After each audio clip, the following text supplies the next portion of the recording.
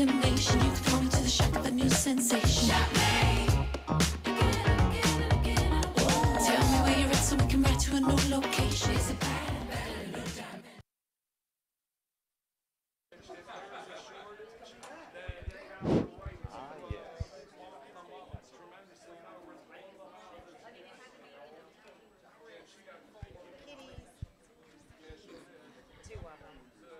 Good afternoon.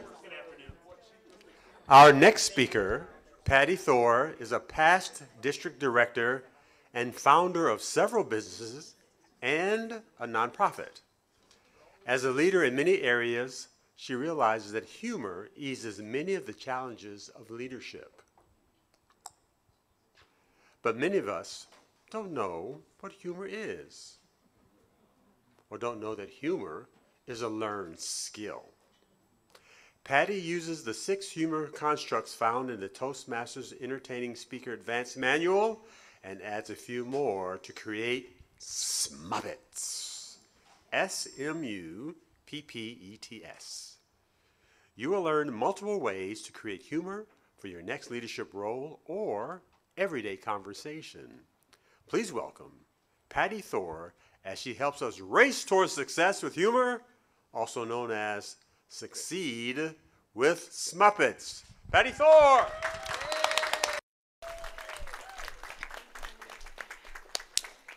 Thank you so much, Russell. Welcome, everyone. Did you have a great lunch? I did. okay, everybody, get a little bit of energy going. Let's go. Move those arms. Wiggle a little bit. I don't want anybody falling asleep. If I see you asleep, I'm going to send my mic runner out to ask you a question. right? That'll keep them awake. That'll keep them awake. So, race to success with humor. It didn't work. there we go. We had to switch technologies a whole bunch of times. So, leadership skills, active listening, having difficult conversations, and giving and receiving feedback. They're great leadership skills, right? We need to know them, right? Toastmasters makes leaders, right? You want to learn these skills, right? You're not going to learn them in this session. nope, nope, nope. These are great skills. You're going to learn them elsewhere, but not here. Would you agree that in all these leadership skills, that humor helps? If nothing else, but to laugh at yourself.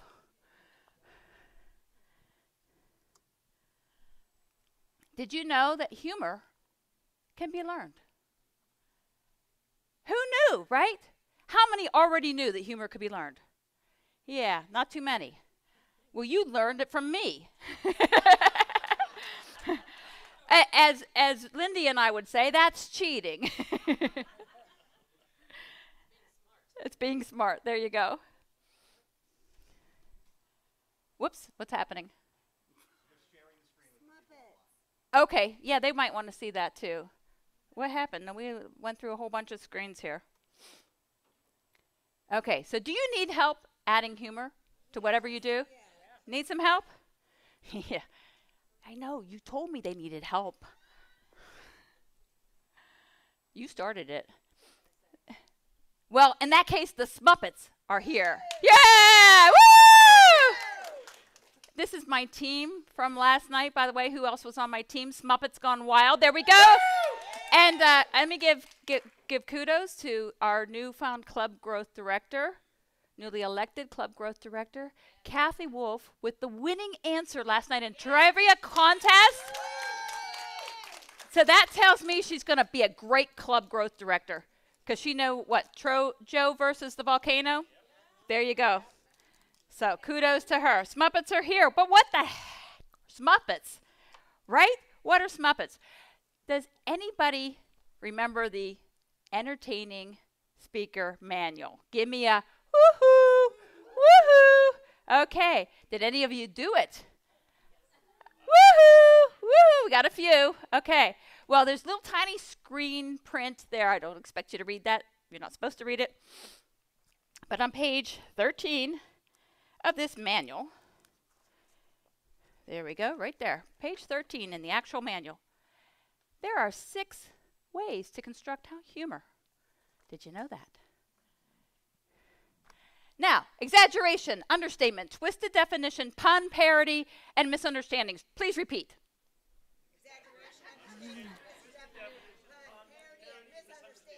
So some of you could read it. The ones way in the back can't even see what I'm talking about. Not exactly something that you're going to memorize, right? Or have as a tool. So I sat and played with that. Wow. I was like, hmm, there's got to be an acronym somewhere, right? In this. The only one that I could come up with that was memorable is misunderstandings, understatement, pun parody, exaggeration, and twisted definition. What does that spell? Muppet. Well, you can't have, no, it spells Muppet, singular. You cannot have one Muppet, right? That's not possible. But, wait, we need to catch that on mic. You can't have one Muppet. That's not possible. No. That's for you Zoom folks. So I added slapstick. And then I thought about it a little bit more, and it's like some of these lawyers in the group are like, eh, Muppets, that's a copyrighted trademark. Trademark, sorry, trademarked. Might not want to do that, so I put another S in there, and now it's Muppets. Totally different. Totally unique. Not anything to do with those Jim Henson furry things. Okay, so this is what I put the slapstick up front. Physical humor, because it's kind of different than all the other things. The other things are word related. Slapstick is the physical humor, like the falls, things like that. I'm going to go through each of these. And what I want you to do is get out your handouts and this is one where I'm going to encourage you to look at your handouts during the meeting. As I go through these, there's a first page that has these really boring, really mundane, really mundane, dry stories. They're supposed to be. Because what I want you to do as we're going through these, just kind of glance over these stories, see if you can come up with a way to add a little humor to them, add a little interest, add characters, add activities. One lady just gets on a bus, sits on the bus, gets off the bus, goes to work. Kind of boring. So, how could you use Smuppets to rev up that story, make it more fun, make it more interesting? That's your assignment. So, yes, I get that you're going to be listening out of one ear, your brains are going to be working, but you kinesthetic learners are going to come away going, I got this. The rest of you can watch the replay.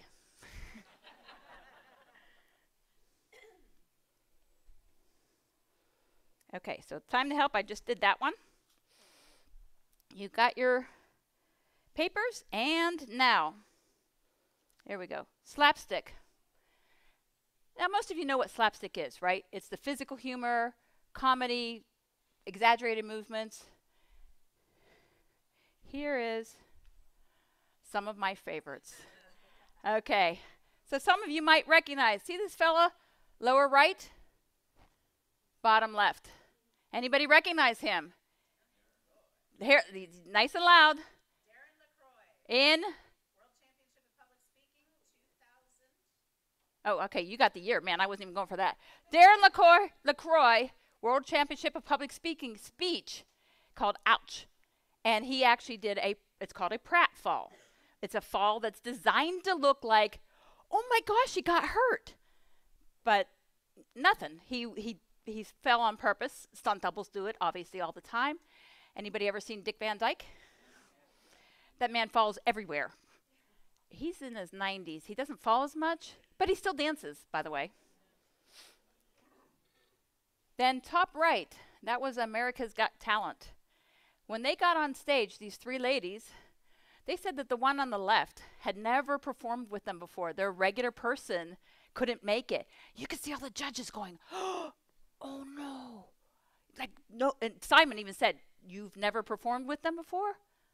No, they just needed me to fill in. Oh, okay.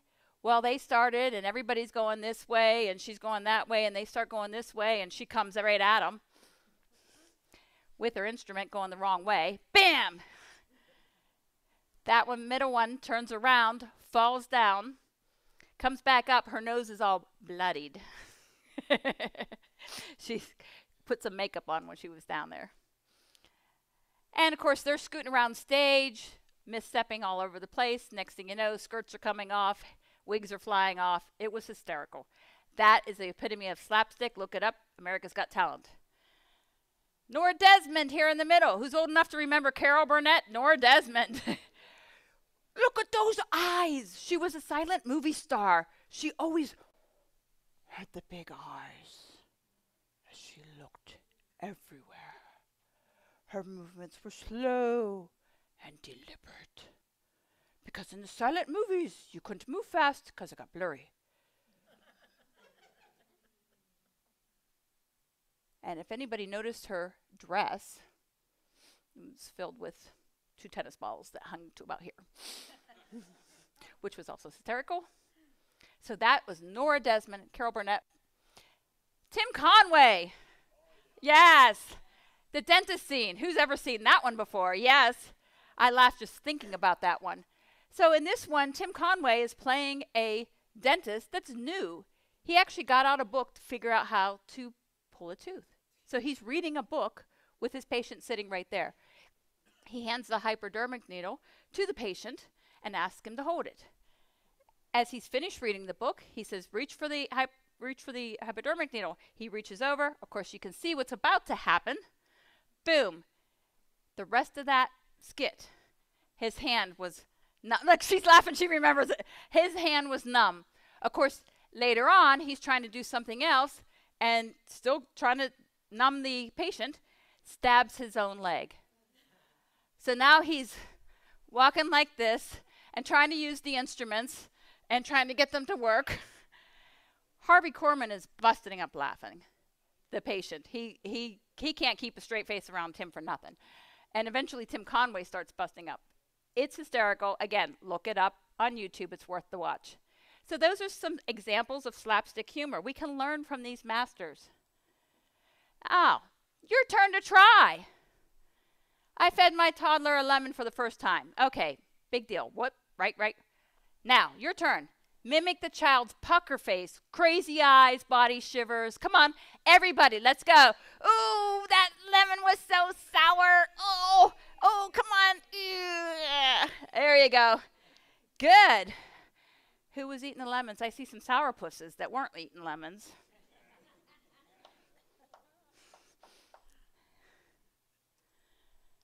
Misunderstandings.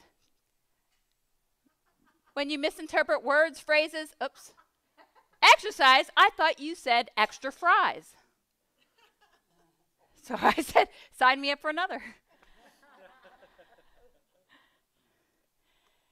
the king of comedy on misunderstanding, Abbott and Costello. Does anybody here not know who's on first?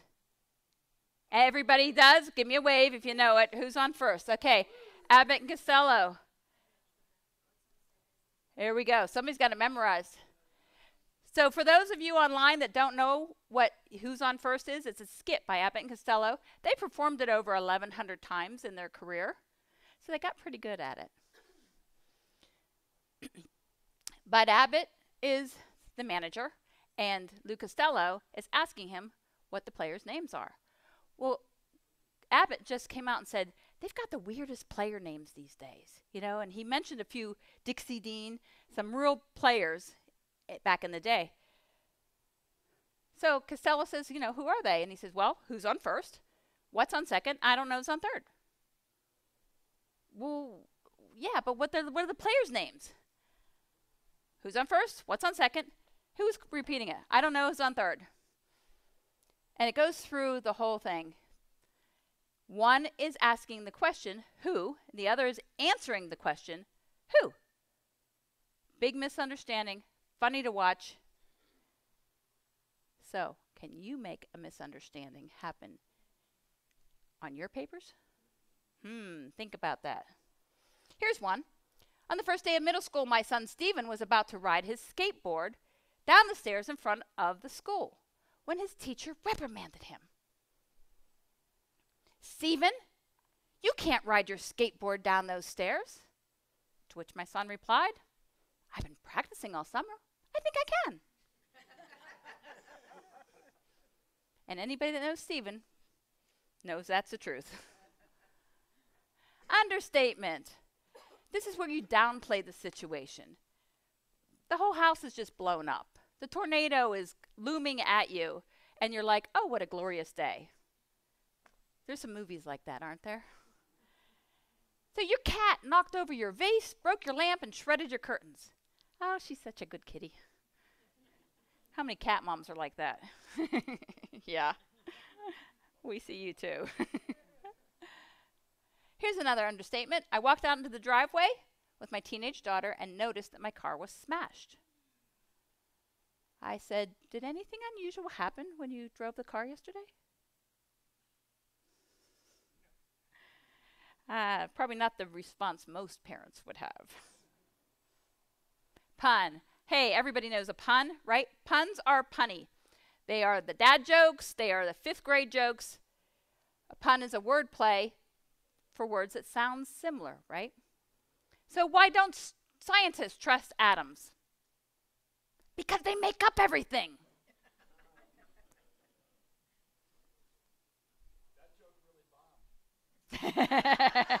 Whoa! Hecklers in the audience, I love it. Okay, here's another one I told my husband over breakfast. Karen wants to marry Josh. He's tall, handsome, and quite wealthy. But he's so stubborn. But instead of saying he's so stubborn, he has a will of his own. Synonym, right? Still same story.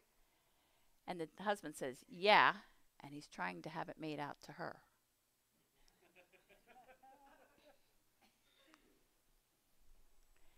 Parody. Everybody's seen parody movies. Here's a few of our famous ones. Now, I love this one in the middle here from Spaceballs. That's a parody of a parody. So, what is this parody of? Come on, who can shout it out? Wizard of Oz, that's right. So, when you saw that, you all started laughing again because there's the Wizard of Oz right there in the middle of space. Here's another parody. See if anybody can recognize where this one comes from. My neighbor is trying to lose weight, but he has a weakness for desserts. That's kind of boring. My neighbor is trying to lose weight, but he likes to eat his cake and have yours too. Who's that come from? Anybody recognize it? Parody on Marie Antoinette. Let them eat cake. And then exaggeration. Everybody's seen exaggeration where everything is big and it's overstated. I was so skinny. Oh, so that's the next one. My boss is so organized, he has scheduled for time to blink. Any of us guilty of that level of detail? Yeah, I see a couple hands. See a couple. I'm not saying anything. But when I was a child, I was so skinny, which helped playing hide and seek. I could hide behind the flagpole, the telephone pole, and even my grandfather's cane. I have since grown up. You know, I spent years trying to stay in shape until I realized that, hey, round is a shape. And then twisted definition. This is where you have one word or phrase, but you use it in a odd way. For example, worker says, "We have a team meeting this afternoon." Co-workers, "What's the meeting for?" It's for a bunch of us to take minutes, but no one is allowed to leave for hours. How many have been at those meetings?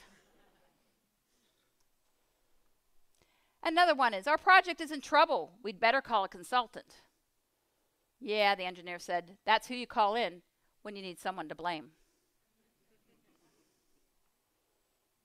And then the last S, we're going to say it again, but we're going to say it again and again and again. Still think about your little stories, what you can add to them. This one is the callback. The callback. Now, this has been used many times. It's probably it was used many times already today. Is Don Michael in the room? No, he's not. But I heard he was changing his name to Bob. Okay, that's a callback to a previous conference. The people who chuckled were at that conference. So you need to be at the next conference so you don't miss the next callbacks. Okay, got that? My neighbor is always trying to stay married, but he has a weakness for women. My other neighbor, remember I had the one neighbor that was eating desserts? My other neighbor is always trying to stay married, but he wants to have his wife. He wants to keep his wife and have yours too.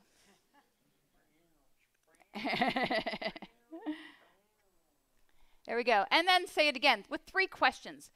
This is one I learned from a professional speaker. You ask a very specific specific question and then one more general and then one like absurdly completely beyond. But they still have to have a thread. They have to tie together somehow. So it's the same noun, same verb, same theme. So let me ask you all a question. Who here has ever played college basketball? Anybody? Oh, we got one back there. Russell. Nice and tall. That makes sense. Anybody ever play basketball at all? Sandlot? There we go. Has anybody ever seen a ball? okay. That is the example. And you see how they tied together one very specific college ball. We got one person. Ever played basketball? A few more. Ever seen a ball? Who hasn't seen a ball? Right? And we didn't even call it a basketball. So this works in other countries as well. And that's the rule of threes is similar to the questions, but they're not questions. So you hear that a lot of times in, you know, this, this, and this. We, we do that all the time, not just for comedy, but uh, somebody said uh, courage, charisma, something else. There was three C's together, right? Um, my example, my morning routine involves coffee, breakfast, and wondering how it's already lunchtime. So say it again. Bob Allison said he came up with a, some joke ideas, and the guy that was working with him said, too corny, too obvious, 230. Time to go, right? Don't care. So these are the Smuppets. Now, what I want us to do is actually put them into practice so that you can race to success with humor using Smuppets. Some great advice to speakers, all you speakers, from Franklin Delano Roosevelt. Be sincere, be brief, and be seated. Okay, now what we're going to do, that can that can stop sharing. I want everybody to take a couple minutes. You at home, um, Chris, can you drop the other file in the chat? Do you have the other file? Yes, of the of the homework. And then work on and, and people at home. If you want to take any of the jokes that we had, any other conversations, try using some Smuppets to amp up any stories that you have. Make them a little funnier. And you know what? It's okay to be vulnerable. We just learned that, right? It feels scary. It feels fearful. But everybody who speaks up is really courageous. And we won't know the difference that you're scared. Does anybody have, if any of my humorists have any suggestions on any of the Muppets, Muppets that you've added? Give you a couple minutes.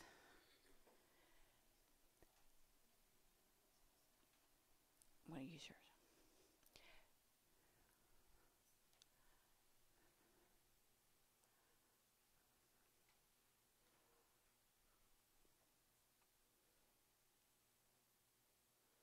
So if you're online on Zoom, you can use any story, kind of a boring, mundane story of your own. That's all this on these these uh, other PDFs. And then just try to come up with some ways that you can use the Smuppets to add a little bit of humor or invent your own story. I don't care. That's that's fine too.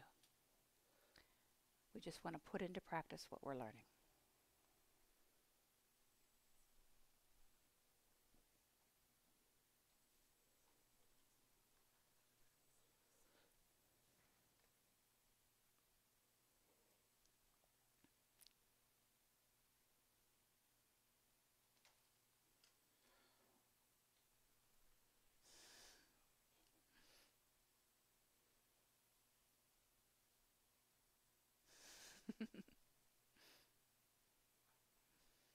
By the way, these, this is why comedy writers get paid the big bucks.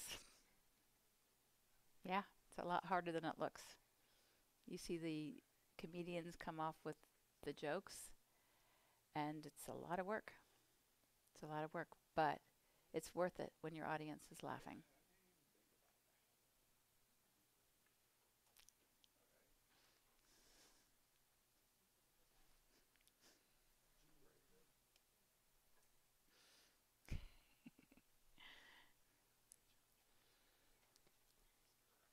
So while you're continuing to write, I'm going to interrupt you and talk over you, but concentrate on what you're doing or listen in, whichever you want to do. There were, okay, does anybody not, eh, okay, everybody knows the story, The Three Little Pigs. Yeah, you do. All right. And I didn't ask you to sell it. but thanks anyways. Number three in stature, little. okay. That's right. I love the courage. That was great. The, the the story of the three little pigs.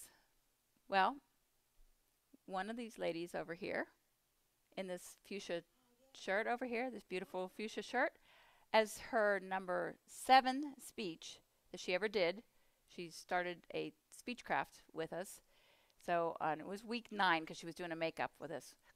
She did a parody called The Three Little Figs. she had a bag of figs. There were three in there, and she's like, "Oh, I could do the story of the three little figs."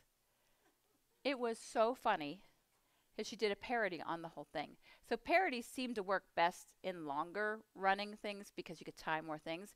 And the names she used rhymed with, oh, Larry Moe and Curly. so she put in another parody yet in her story. And that was only speech number seven. And I said, that is a good seed for a humor speech contest speech. So if you ever hear something titled The Three Little Figs, you heard it here first.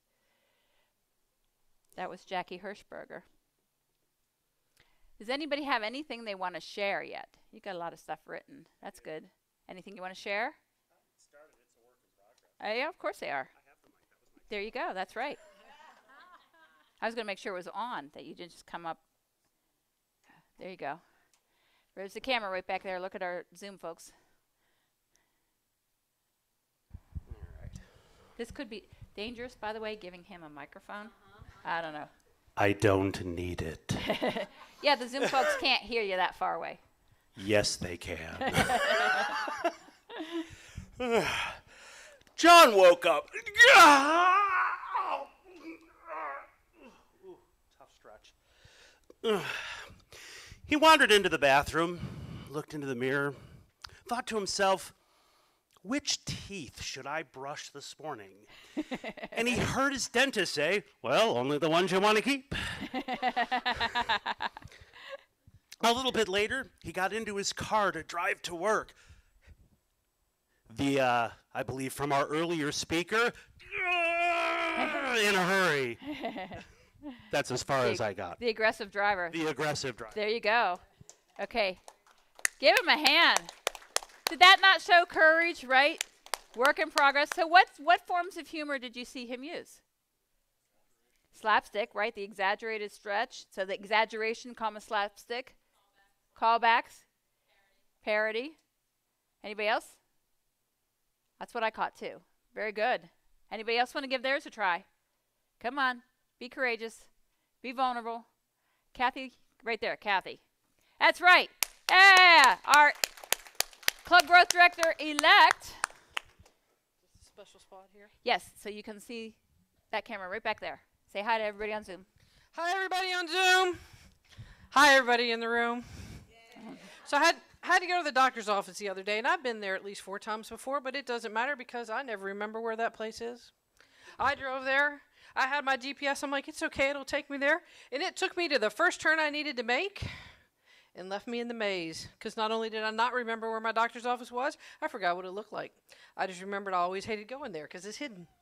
I did finally find it. I got in the building. I thought, well, I'm- remember we're on the fourth floor. And I go to the elevator, and there's only two buttons. Oh no. Someone else got on the elevator. I'm like, I'm just going to step out. Look that address back up. Oh, hey, I'm only on the second floor. Good news. I did have two buttons. So I thought, okay, well, that's got to be the hardest part of this event, right? Surely I'm okay to go now.